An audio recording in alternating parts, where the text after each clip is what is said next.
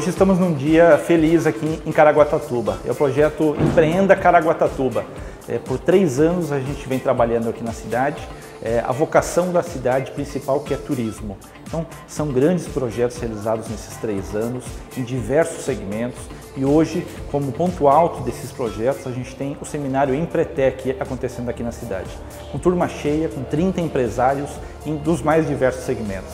Então, nós temos hotelaria aqui representados, o nosso setor de alimentação fora do lar, é, economia criativa, área de saúde, de beleza, é todo mundo engajado em fazer uma Caraguatatuba mais focado para atender cada vez melhor os empresários aqui da cidade, é, esse público que tem aqui da cidade, mas também os turistas.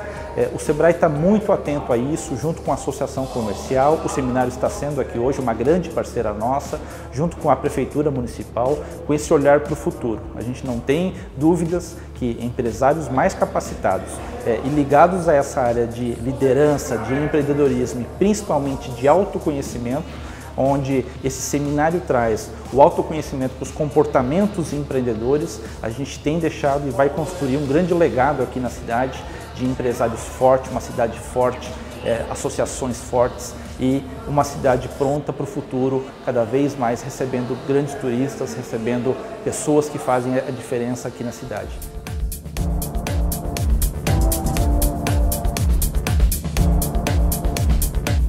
Comecei a trabalhar com minha empresa faz dois anos, desde 2017. É uma empresa de vinhos aqui em Caraguatatuba. E comecei antes de abrir concursos online, me informar sobre gestão, sobre financeiros, coisas assim, uh, tudo pelo Sebrae. E eu gostei muito também a possibilidade de ter o chat online, que eu perguntei diretamente para as pessoas lá.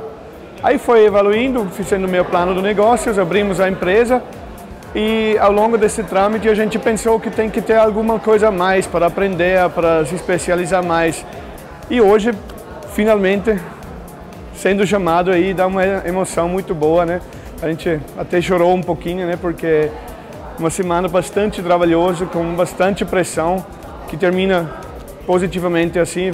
É uma conquista que eu tenho orgulho sim e acho não vai terminar aqui, mas agora vamos pôr a mão na massa e o que a gente aprendeu, vamos pôr em prática lá fora. Estou aqui agradecendo a parceria com o Sebrae e a Prefeitura dando o maior apoio para que todo esse evento que está acontecendo aqui tenha acontecido.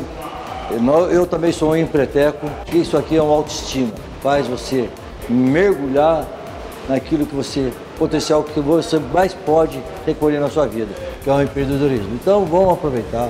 Prefeitura, Sebrae e Associação estão de parabéns. Espero que no futuro tenhamos mais Empretec aqui na Associação Comercial. O Empretec foi surpreendente foi uma surpresa. Eu acho que todo mundo fala que é um divisor de águas e você fala que é intenso e você não acredita que possa fazer tanta diferença como você muda em poucos dias.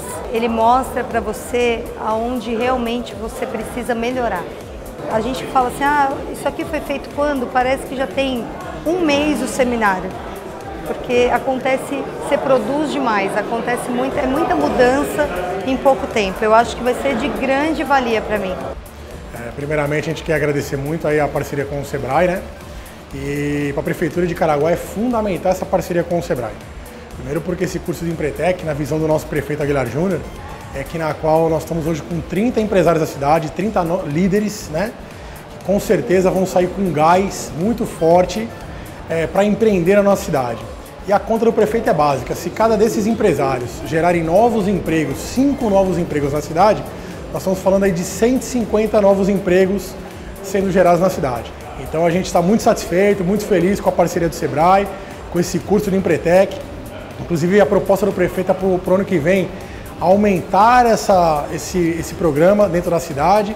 E se Deus quiser, ano que vem a perspectiva é que 100 novos líderes pelo menos sejam gerados com novos cursos em Pretec no próximo ano.